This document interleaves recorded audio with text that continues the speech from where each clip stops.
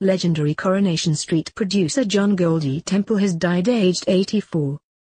John first worked on the ITV soap as a storyliner in the early 1970s, penning more than 200 episodes, before returning as producer for two shows in October 1984 before a much longer stint in March 1986. After nearly two and a half years at the helm, John said goodbye to the Cobbles in August 1987, with his biggest storyline being when the Rovers was dramatically burned down in 1986. Sally Dynevor, who was brought in by John to play Sally Webster in the 80s, led tributes from the Corrie cast. Giving her sympathies on Twitter, Sally thanked John for giving the actress her big break on Corrie in 1986. She said, The wonderful John Temple gave me my opportunity on Corrie and I'm forever grateful hash rest in peace love Lyman.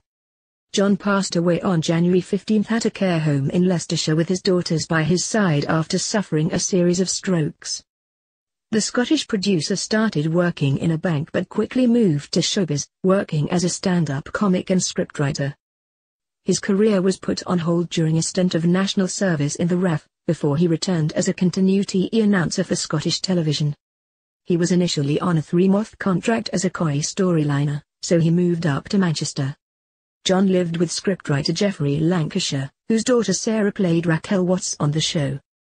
The popular producer described his early days on the soap as invaluable training for the top role.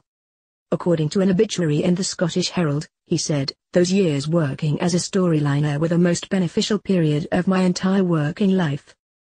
The discipline of churning out storylines day in day out, 52 weeks of the year is an unbelievable learning curve,